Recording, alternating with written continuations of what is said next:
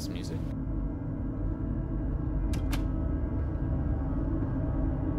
What's gonna happen now? Oh shit. Paint deep lies.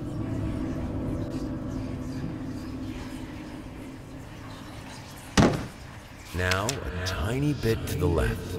Yes, just like that. Hold that pose. I want to get all those lovely curves just right. That's a little creepy.